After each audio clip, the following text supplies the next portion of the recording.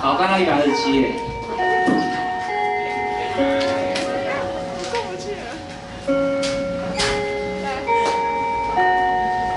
我先讲哈，我们今天这一节上完之后，我们从下一节开始会用三节课的时间看电影以及电影之后的分组讨论。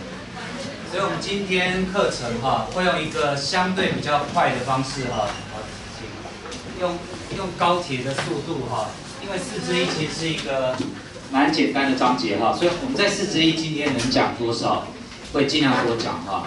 那根据上一个班上的内容，他们会觉得比较像是呃国中讲的内容稍微再多一点哈。好，所以待会快并不是我们在改课哈。来一二七页，我们上一节课提到这一章，葡萄牙人走的是东方航线，西班牙人当时把地球算小哈，哥伦布那个时候因为没有比较精确的精度仪，我们知道纬度跟经度嘛，当时在纬度的判断相对精准，精度的判断相对不准。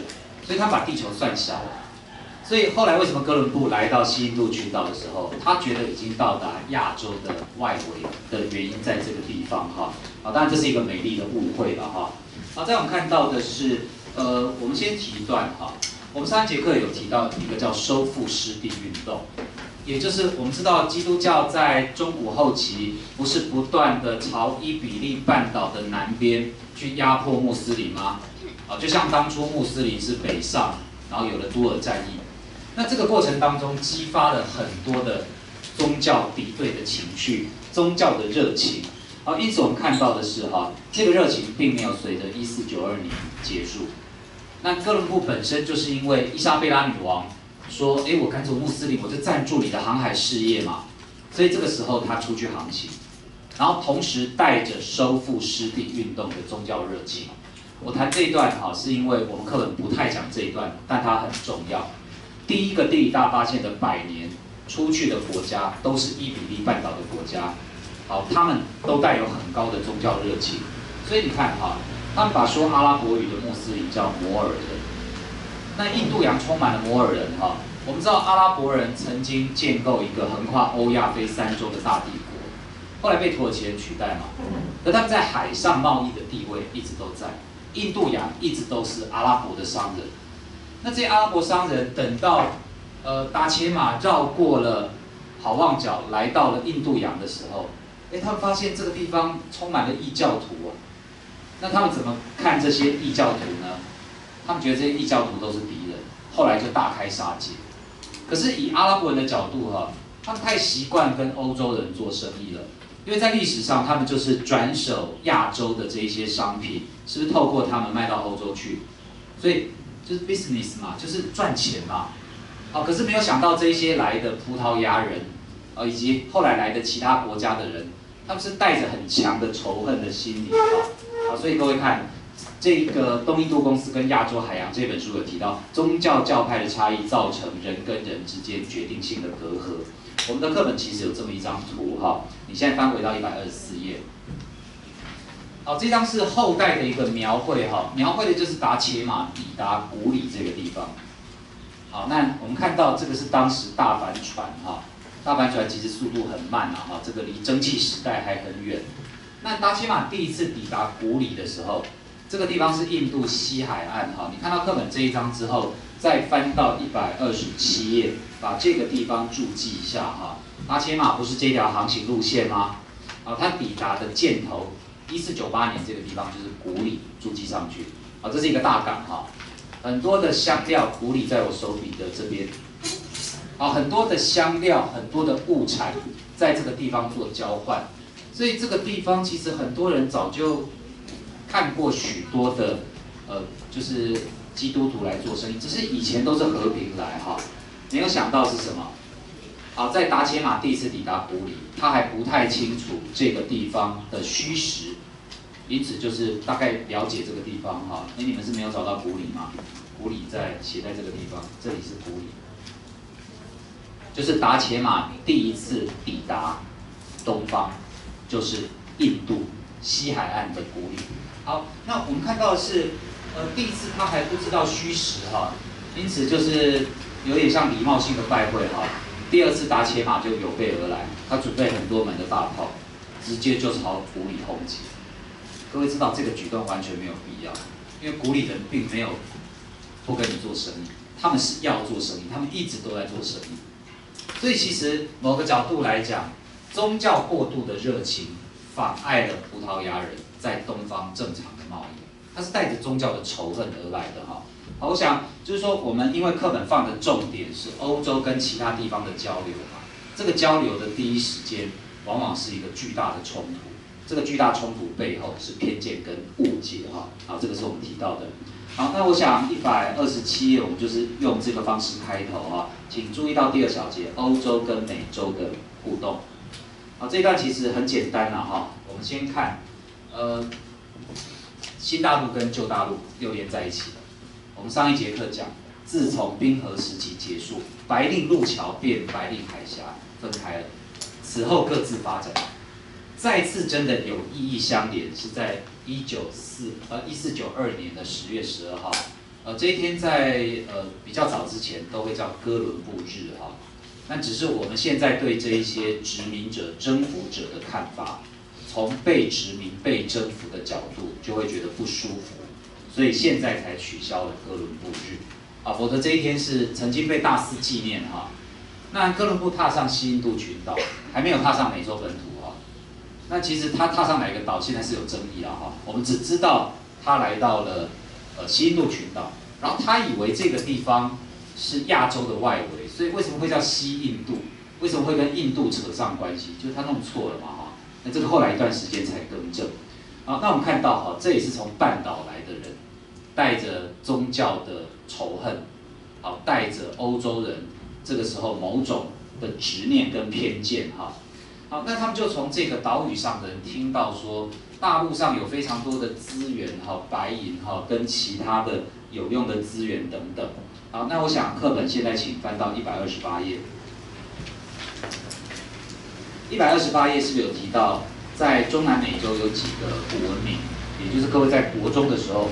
应该也都有提过的哈，我想这一段我采取的策略就是帮各位直接做一个表格，因为实际上它没有办法详细讲，课本也没有真的讲很多了哈。好来，当时在中美洲有两个比较显著的政权，一个是在今天墨西哥境内的阿兹特克，好，一个是在墨西哥南边大概接近中美洲国家的玛雅。那他们的状况不同啊，玛雅是一个比较早熟的美洲的文明，在哥伦布抵达的这一刻，他早就已经式微了，啊，就分成很多的小邦，也没有一个统一的政权。可是阿兹特克在西班牙人来的时候是到达最巅峰，最巅峰就是他武力最强、政治力最强大的时候。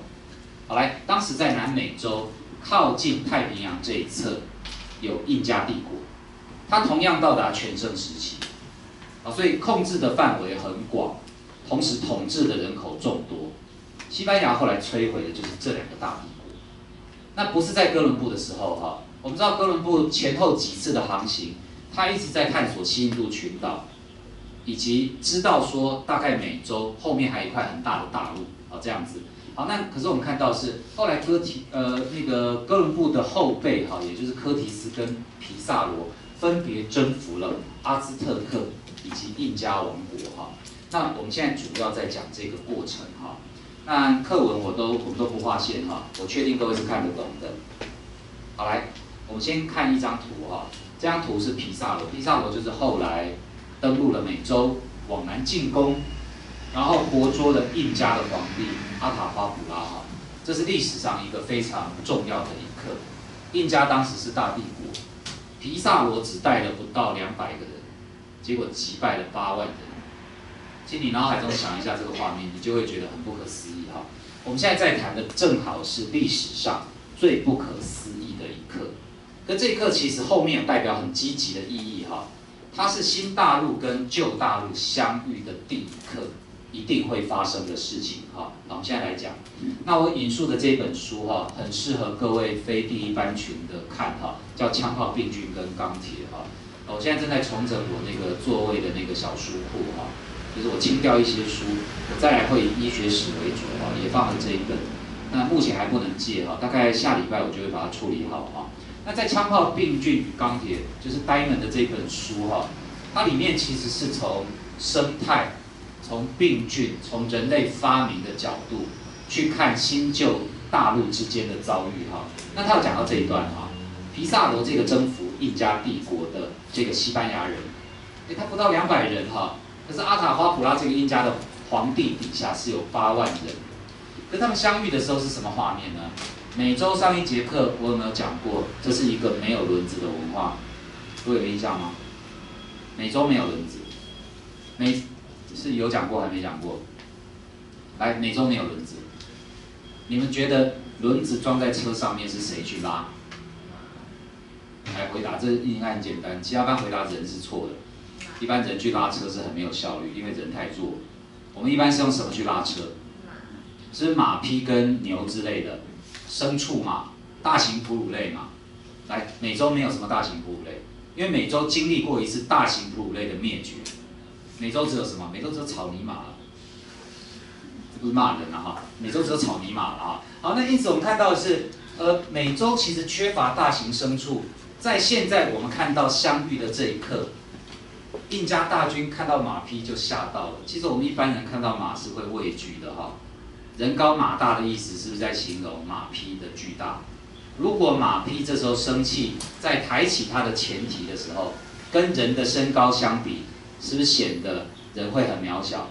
好，美洲人没有看过马，美洲人没有看过这种大型具有攻击力的牲畜，可这时候看到，那我们知道人在第一次碰到没有遇到的事情的时候，他就惊呆了嘛，就是我们一般讲的震撼嘛。所以这个东西我们不能用一般的常理去解释啊，就是马匹嘛，因为各位都了解马，但是他们不了解哈。好，美洲没有铁器，美洲没有发展出炼铁，可是欧洲早就旧大陆早就已经有一个源远流长的铁器的传统哈。好，那所以这个刀剑代表是这个，枪炮美洲也没有，所以这些东西当他第一次使用，也就是印加跟皮萨罗的军队第一次遭遇的时候，那。阿塔巴普拉的印加军队有什么东西呢？有石头，有铜器，有狼牙棒，有斧头。各位知道这个差距了吧？所以皇帝最后是被活捉的。那皇帝被活捉哈，后来就探清楚，这些西班牙人其实也是要经营财宝了哈。那他自己本人变成肉票嘛，然后就要把这个皇帝赎回去，阿塔花普拉赎回去。结果皮萨罗开出的价码是多少呢？装满三个房间的黄金跟白银，就是把这个房子全部装满。哎，阿塔花普拉凑出来了，美洲真的是一个充满贵金属的地方哈。结果等到阿塔花普拉的部下把这些东西凑出来之后，肉票就被撕票了，阿塔花普拉就被处死了。为什么？皮萨罗想说，如果放他回去的话，他一定会再调集大军来打皮萨罗。那各位知道，第二次跟第一次相比，那个震撼就没有这么强了。所以阿塔花普拉是这样被杀掉的哈。那我们看这个过程当中哈，我们可以看到很多点哈。你看这些带着宗教仇恨的人，皮萨罗的名言是“上帝的爱是带有血腥味的”。其实这句话你可以从很多角度去解释哈。可是他们现在的这种宗教的情怀，反而是增长他们杀人的行动哈，然后他们残酷的镇压哈。好，那我们看到的是。我们刚刚没有讲到的背后，还有天花已经先一步抵达了印加帝国。天花是谁带来的？天花就哥伦布这一批西班牙人带来的嘛。但是疾病走的速度会比人还来得快。口鼻我们应该很熟悉这个过程了哈。好，那因此天花已经蹂躏了印加帝国。印加的皇帝本来不是阿塔花普拉，我们刚讲的那一位不是，是他爸爸。他爸得天花死掉了，所以阿塔花普拉跟他的兄弟在争皇帝的位置。所以你看哈，天花是站在欧洲人这一边。天花在一段不算长的时间歼灭了百分之九十以上的美洲原住民。所以其实如果不是天花，如果不是我们刚刚讲的马匹、枪炮、铁器，欧洲人没有办法这么占优势对于美洲哈。可是之所以会去会是刚刚这个很夸张的过程，是我们刚刚看到的这一些呃。美洲没有，而欧洲有的因素哈，好，这本推荐给各位哈，贾德戴蒙的《枪炮、病菌与钢铁》其实这本书已经出版了二十五年了哈，比各位的年纪都还要来的再大一些哈。可是有些书真的是历久弥新哈。我相信各位如果现在有机会看这一本书，第一个你会很有收获，第二个你不会觉得这是一本很旧的书。它里面讲的东西是用一种大历史的观念，把这一些的元素整合起来，去看整个人类在各个区域，诶，为什么它最后会长成这个样子？它有一些很深层的因素哈。好，再来请看到的是，呃，古文明的消灭。因此我们现在要看到的是。好，请看到在课本的一百二十七页，请翻回来。好，一二七页在最底下的这两行哈，我用了两张地图来帮各位补充哈。来，当这些国民被消灭之后，各位知道阿兹特克是在我手里这个地方嘛？印加是在这个地方，所以这些后来都变成是西班牙广大的美洲帝国哈，咖啡色的部分。那葡萄牙后来拥有的是巴西哈，也就是黄色的这个部分，所以海外探险、海外殖民的第一个百年，就是伊比利半岛的两个国家在美洲的天下。我想这个大家都知道了哈，只是我再列出一张呃地图会比较清楚一点。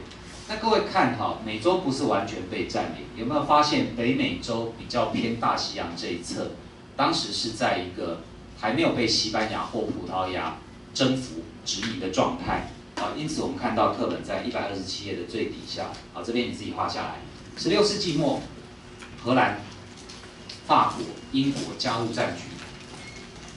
那这些国家哈，当然你课文就会看过去，你自己注记一下。这三个里面有两个是新教国家，荷兰是新教国家，英国是新教国家。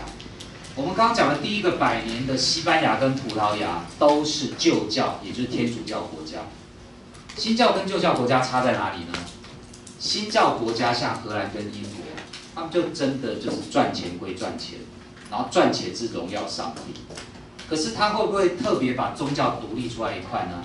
他们也派传教士了哈，可他们对传教士没有这么执着，可以传教就传教，不能传教就算了。他会不会像达伽马那种杀人屠杀的方式呢？比较少，不太会。好，所以我们看到的是。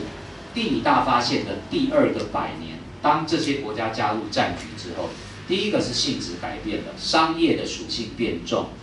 好，第二个是有一些新教的国家投入了哈。好，那这一些我想，呃，课本的文字在一百二十八页，你就可以不用看了，因为我直接附一张地图比较快。好，来这一张，我们再讲一次哈，这是西班牙人，跟刚基本上没有什么变化。这个地方是葡萄牙人，也就今天的巴西为主。可是你发现，在绿色跟粉红色的哈，多的是英国跟法国。那这张你如果搭配课本一百二十七页的话，哈，一百二十七页在右下角是不是有一张地图？啊，搭配着看哈。我讲话速度比较快，但这一节理论上各位比较吃得下来哈。一二七页的底下是有一张地图？来。本来北美洲有三个国家哈，就是我们刚刚划线的荷兰啦、英国啦、法国在这里竞争。荷兰后来竞争失败就退出哈。你们现在一定很熟美国的一个城市叫纽约，它是不是 New York？New York 照字面翻译是新约克，约克是英国的一个地名。可是这个地方曾经叫做新阿姆斯特丹，所以它曾经是荷兰人最早殖民的一个港口。只是后来被英国夺去，所以你在这张地图上看到的这个地方，曾经有荷兰人在这边。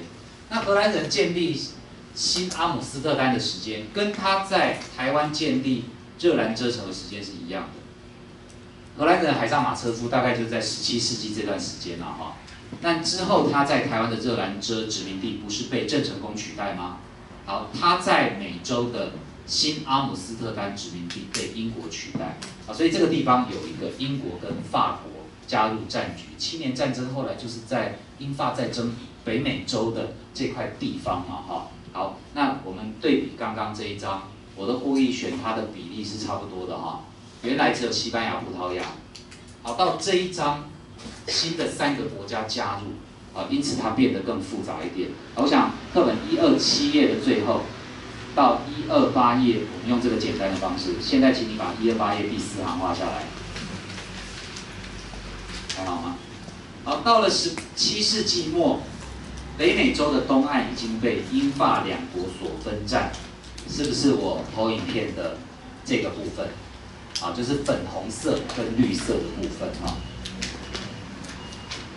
啊。好，再来我们看到的是课本，其实一百二十九页之前我们算讲完了哈，但我觉得我们的课本讲太少，其他课本其实讲比较多。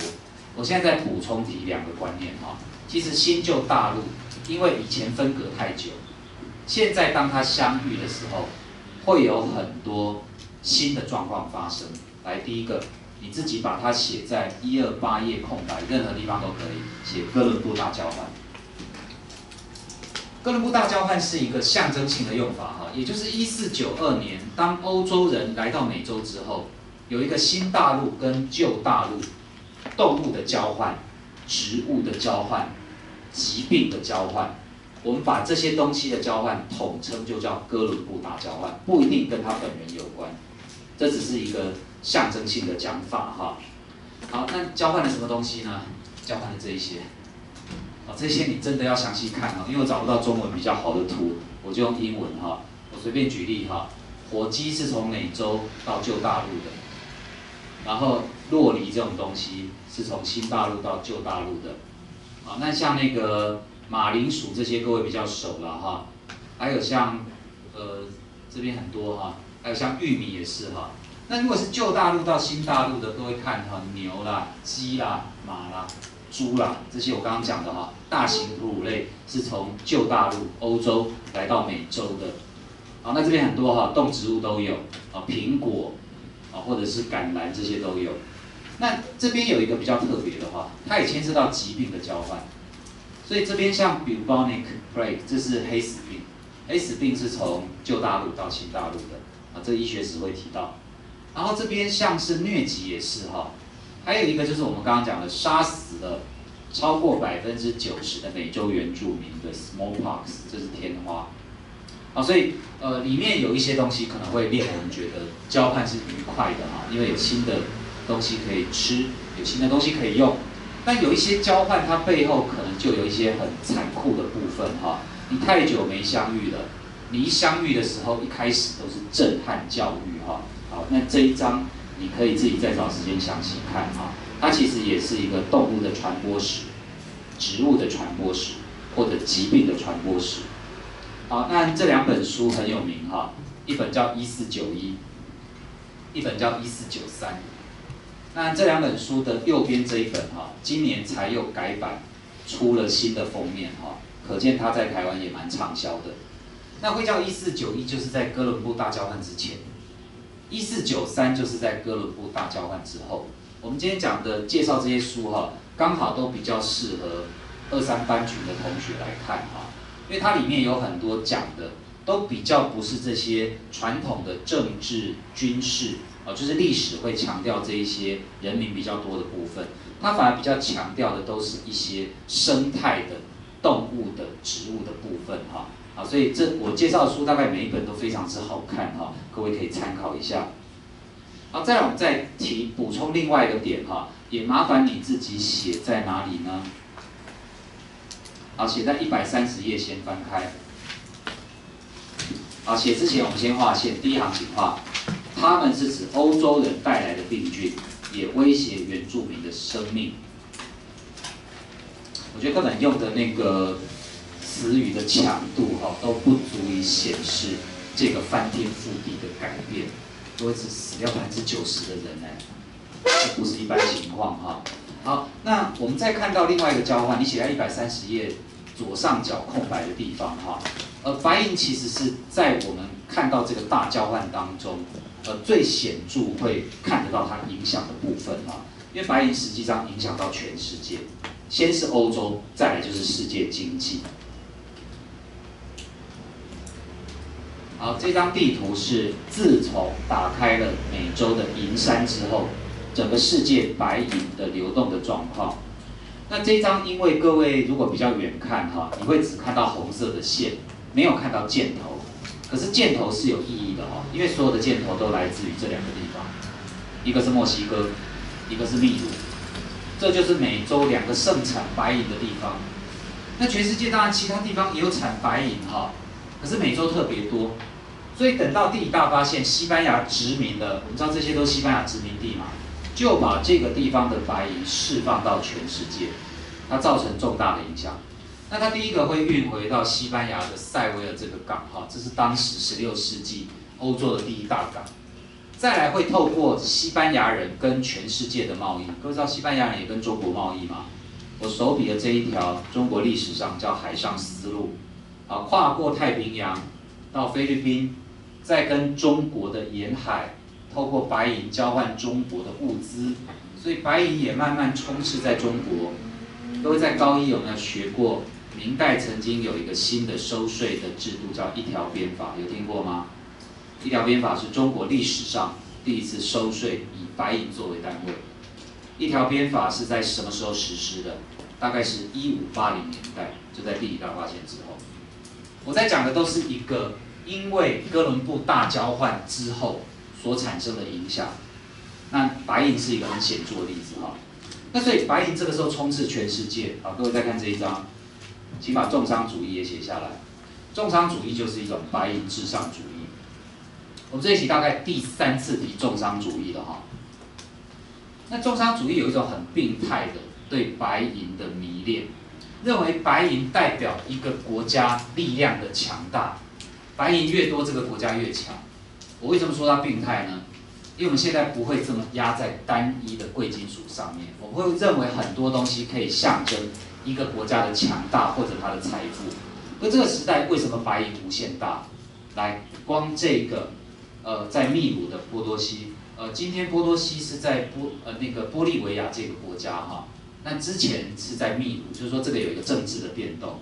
那光各位在这个版画上面所看到的波多西这个银矿山哈，全世界一半的白银从这里来，它的全盛时期，光这个地方的银矿就供应。全世界的一半，百分之五十，你就知道当时西班牙真的是拥有银山哈。好，那因此这个重商主义这么强调白银，其实跟西班牙在十六世纪靠美洲开采的白银的成功，当然是有关系的哈。好，可是当它随后扩散到全世界去的时候，那它带动了一件事情哈。你再把这四个字写下来，叫物价革命。这些都是我们课本漏掉应该写没有写的。什么叫物价革命呢？以白银计价的东西都变贵了，为什么？因为现在全世界的市场充斥着白银，它从美洲出来，现在都变成银元或者银所表述的货币嘛。那各位知道，你是买同一个东西的时候，你要用更多白银才能买，因为银这个时候相对便宜，银变多了嘛，变便宜。反过来讲，特定的东西变贵了嘛，你要用更多的白银才能去买嘛。好，所以这个是以白银作为计价的通货膨胀，可以这样子讲。那它其实影响很多事情哈，中国也受影响，因为中国也收到很多美洲的白银，可是它对中国是有好处的哈，因为各位知道，通货膨胀如果说是物价慢慢的涨，它其实对经济是有帮助的。好，那通货膨胀对谁没有帮助呢？请看第二点，当时欧洲像封建制度固定收入的人。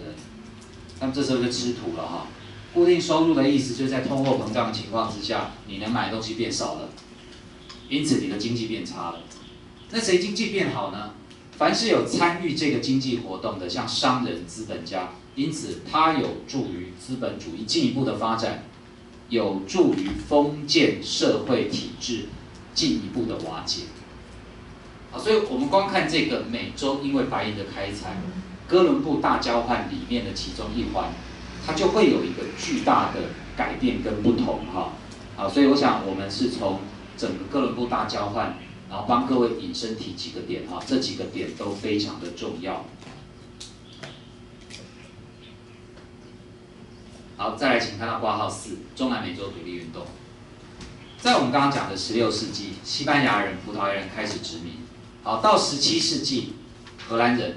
英国人、法国人加入，到十八世纪，大概美洲的状况是这样子啊。可是十八世纪到十九世纪开始产生了变化。各位现在先把课本一百三十页的几个地方画下来，好，请看到背景这一段。好，十八世纪在欧洲是启蒙时代，第二行情画。哎，很多新思想哈，自由、平等。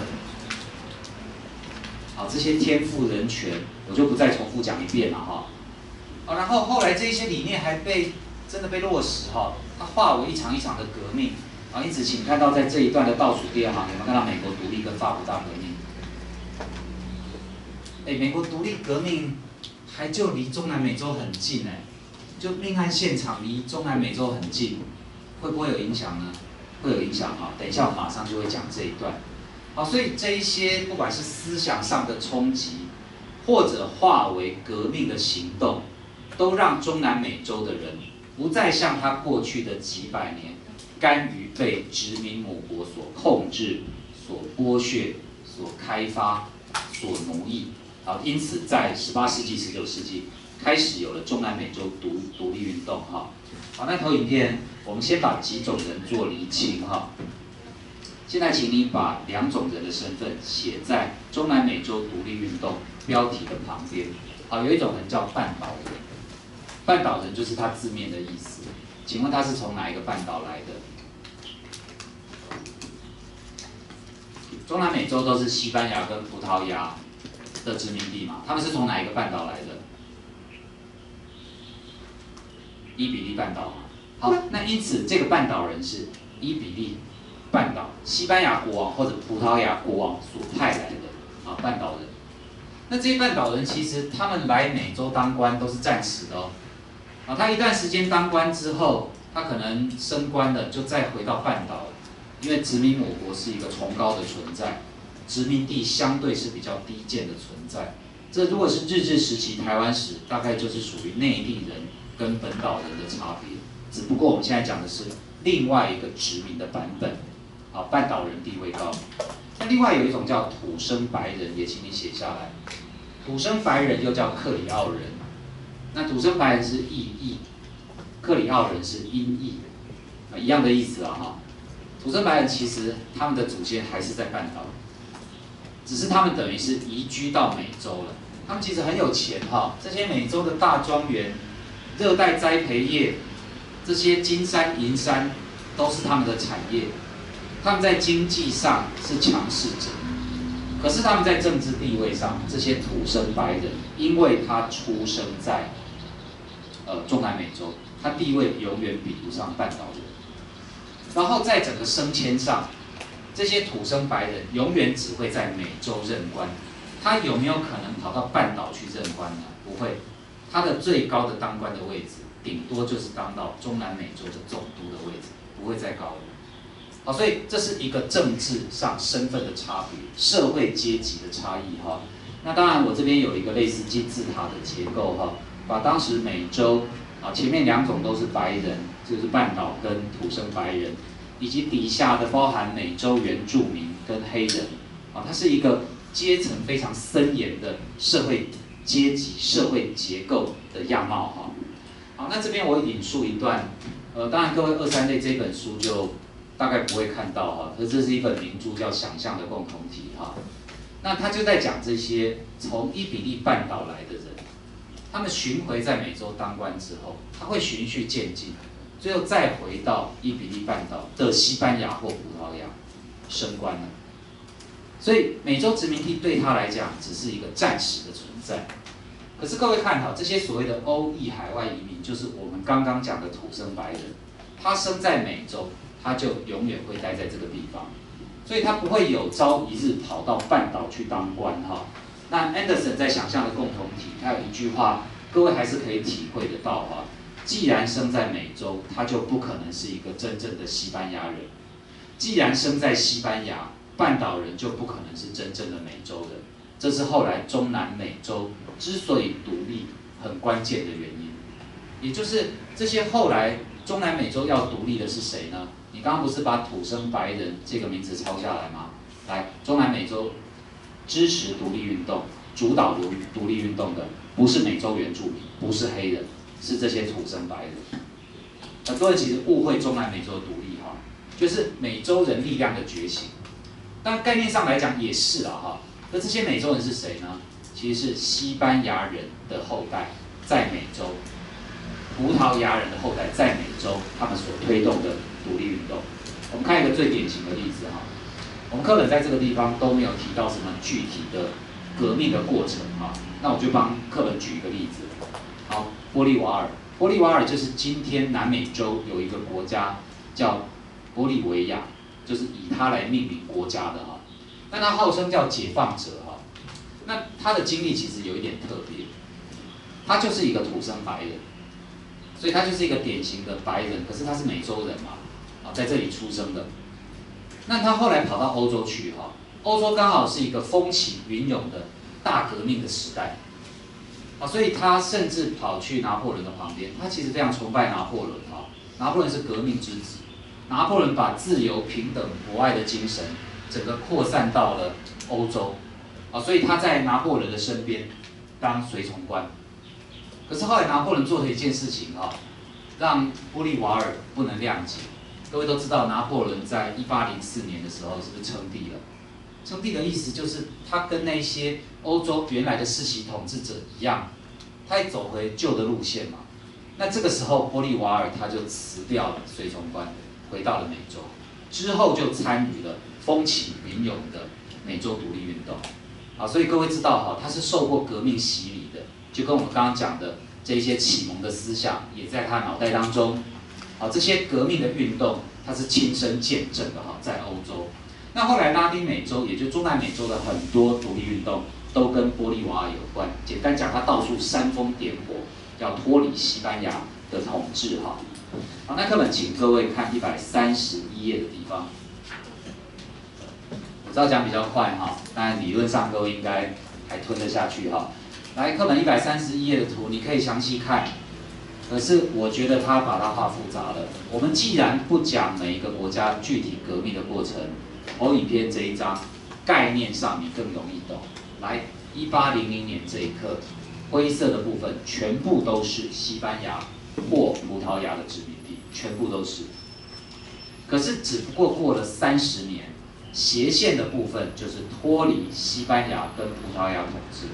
没有发现中南美洲的政治景观产产生了剧烈的变化，从殖民地是多数的国家都独立了，所以它不能用单一的原因解释哈，这一定有一个跨区域的整个美洲的共同因素去解释为什么这些国家通通在这个期间独立了。各位知道，如果以减肥来讲的话，这张叫 before 嘛，减肥前；after 减肥后。啊，所以为什么会有这个巨大的差别，在一八零零到一八三零呢？我们现在来看哈，国际形势是最主要的原因，就是我们常会觉得一个国家独立，就这个国家要脱离控制它的人，控制它的这个势力，因此他用自身的努力推翻了这个政权，达成了独立。对，的确有一些国家是这样子，可是其实我们在历史上见证更多的是哈。一个国家可以独立，是因为国际形势成熟的。当全世界都在帮忙他的时候，他就独立了。我们现在见证就是这个过程哈。好，所以这一段其实课本算写的比较清楚。现在麻烦你把课本一百三十页，我们来画几个地方哈。好，此外这段有找到一百三十页？请在此外这一段的倒数第三行先画下来。十九世纪中南美洲出现众多学校。出版社、报纸、社团、学会。好，为什么画这几句话呢？旁边写一下，这些东西比较多，叫大众传播，写在旁边。大众传播刚好是我们先前讲民族主义很重要的一个特质。哎，你可以用方便的报纸、方便的讯息传递，这样是不是大家就觉得有在同一条船上命运共同体的感觉？这是民族主义一个很成熟的条件嘛，所以当时这些报纸传递的讯息，就让中南美洲的这些地方有一种共同感，我们的命运是绑在一起，我们跟半岛是不一样。各位要知道，这些报刊都是在中南美洲流通的哈，好，那这是一个前提的条件，跟我们先前讲的民族主义的观念是有关的。好，再来我们看到是最后一段哈，最后一段要画哪里，就自己请对照投影片，红色我都标记了哈。来，十九世纪初，欧洲出大事了。先是法国大革命，再来是拿破仑席卷全欧洲。各位知道，特别是拿破仑席卷全欧洲的时候，他征服了伊比利半岛。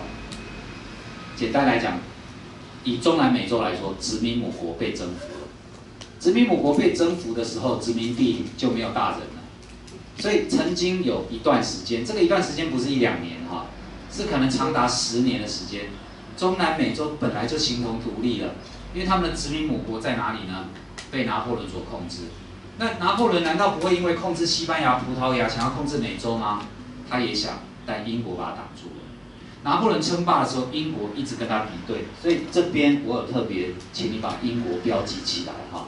英国当时是大西洋的霸主，英国的船只在大西洋具有垄断，所以拿破仑尽管在欧洲称霸，陆地上啊他有很多胜利的战役，可是他没有办法在海上跟英国竞争，所以在英国阻挡之下，美洲这些原本西班牙、葡萄牙的殖民地就等于是被隔开了哈。好，那因此我们看课本这一段，其实是一个很重要独立之前的前奏以及背景。那可是拿破仑失败啦，可是之后欧洲有大大小小的革命，来各位看，这个是课本叙述在一百三十一页地方。啊，西班牙又发生反对国王的革命，无力兼顾海外殖民地，这边请再画下来。好，所以先是拿破仑战役。殖民母国控制不了殖民地，再来又是殖民母国又出事了，殖民地好像又独立了。好，那在这个情况之下，西班牙呃后来在革命失败之后，他又想再把手伸回中南美洲，来这个时候英国出手了，就像当初拿破仑称霸欧洲的时候，英国实际上阻挡了大西洋两岸之间的连接。好，蓝色的这一段在课本上，你特别画下来哈，这段很关键。英国期盼中南美洲殖民地独立之后，可以成为一个新兴市场。你知道英国在想什么？英国在不久前失去它在北美洲的殖民地，也就是十三殖民地美国。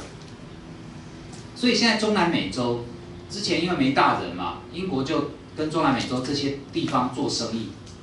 那如果说西班牙今天，当他米平了革命，再把军力派到中南美洲，英国想要跟中南美洲做生意，是要经过西班牙同意。所以英国在心里骨子里根本不想要西班牙的力量再回到中南美洲。好，你再念一次就懂了。英国期盼中南美洲殖民地独立，成为新兴市场，成为英国重要的新的市场。那如果这个时候西班牙力量退出，葡萄牙的力量退出，对英国来讲是好事。所以这就是我刚刚讲的国际情势对中南美洲独立运动是有利的。好，那再来，请你把一百三十一页的最后一行，把这个人画下来。这是美国总统门罗。好，他在一八二三年翻到一百三十二页，他发表了门罗主义，自己改一下，这个字再怎么翻译都不会是主义，门罗政策。我插一个话题哈，各位或许会感兴趣。你知道很久以前美国有一个算是性感巨星叫玛丽莲梦露的吗？你知道这个名字吗？哎，梦露其实就是门罗。我觉得中文翻译真的很神奇哈，就是他是男的，他其实是性，就门罗其实是性，可他是男的那个性，他就会变得比较像男性化哈，就门罗。可是门罗其实就是梦露哈，所以这边其实你可以把它翻译成梦露主义。梦露政策哈，所以它就会念起来有点怪怪的哈，因为我们自动把玛丽莲，然后后面的那个姓就翻译成梦露，因为这样看起来像女生嘛。可是梦露其实是姓不是名啊，理论上跟她的性别是无关哈。那如果我们把玛丽莲梦露叫玛丽莲门罗，各位觉得呢？是感觉好像就不那么性感的那个，就是名字会让我们有一些想象哈。好来，这个是附带一提。那我们看到，因此美国总统也讲话了，啊，门罗也讲话了，啊，这边画下来，美国想要强化自身在中南美洲的影响力。美国其实从立国以来，哈，就是那个潘恩在《尝试》这本书里面所谈的，美洲归美洲，欧洲归欧洲，所以各自管各自，欧洲不要管美洲的事，美洲也不会去管欧洲的事。其实。门罗主义、门罗宣言、门罗政策，大概是这么一回事。所以你现在把课本的门罗主义，刚刚已经改政策，在上面加上四个字：门罗政策是一种美洲主义，就美洲归美洲啦，你欧洲人不要把你的黑手伸到美洲的事物来管。啊美洲主义写上去。所以课本不是讲说欧洲列强不要干涉美洲事务吗？所以美国的立场是他自己要当美洲的老大哥，他会管中南美洲的事务。可是他觉得欧洲就是旧世界嘛，你们自己管自己的。美国有百分之百立场讲这句话哈，各位知道美国当初是不是从一个英国的殖民母国当中脱离而独立的？它是从英国独立的嘛，所以现在当中南美洲要从西班牙手中独立的时候，它是最有资格讲话的哈啊，因此我们看到。后来化为政策，叫做门罗政策。好，课本有这么一章哈，所以欧洲你就回到你自己的欧洲，啊，你们自己要有什么复杂的一些外交尔虞我诈，不关我们美洲的事情哈。课本这张图算写得很清楚。好，我们离下课还有几分钟，我们再带一小段的非洲哈。我今天下课前会讲到呃一百三十三页哈，还有一百三十四页的上面。那课本在四之一讲的是欧洲跟刚刚讲完的美洲的关系，现在讲的是跟非洲的关系哈。来先补一张课本没有的图。非洲其实最早去探险的是葡萄牙人。那葡萄牙从里斯本出发，十五世纪中大概一四五零年开始，那葡萄牙有一位贵族叫航海家亨利哈，他就沿着西非的海岸线，各位知道这不用什么导航哈。他只要沿着海岸线这样过来，那就可以探索很多有用的资源哈。那当时这些葡萄牙人在十五世纪中、十五世纪后期探索西非海岸线的时候，就发现什么就把那个海岸命名为什么哈。这个地方有黄金，它就叫黄金海岸。好，请你们再来帮我讲它的名字叫什么哈。这个地方有象牙，所以它叫象牙海岸。这个地方有奴隶，所以它叫。奴隶海岸，对，所以葡萄牙人就命名了象牙海岸、黄金海岸、奴隶海岸，是这样子来的哈。所以这些非洲对于欧洲人来讲，就是一个资源的存在、财富的存在。那所以这一段航海家亨利接到十五世纪末，就是达伽马。我们刚刚一开始上课讲的是不是绕过好望角，然后抵达了印度？啊，这样你前后就接起来了哈。我们课本因为编排的方式。你会觉得好像是分两个地方在讲。好，请看到一百三十二页哈，那一样把红色跟蓝色字标记起来。葡萄牙人是先在西非海岸探索，所以刚刚一大堆的海岸的名字嘛。然后等到达伽马绕过好望角之后，他们也在东非的沿岸建立了据点。就本来是西非绕过好望角，当然就到东非了啊。好，这些搭配地图都没有问题。那可是这些葡萄牙人的据点，到了十七世纪的时候，好都被荷兰人所取代。请把一百三十三页新开头这一段第一行请画。十七世纪的时候，葡萄牙人的据点都被荷兰人所占据。葡萄牙本来就不是一个强国哈。那十七世纪当荷兰人，因为他独立嘛，然后海上马车夫又是信卡尔文教派，然后赚钱荣耀上帝，这个时候在海上力量很猛哈。台湾是他的殖民地。这些原来葡萄牙人的殖民地也一一的被占有哈，包含像南非最早也是荷兰人去开辟的哈，在这个地方往内陆开垦等等。好，那我们最后在下课要讲奴隶制度跟三角贸易哈，请你把第二点这个地方给他三颗星，一百三十三页。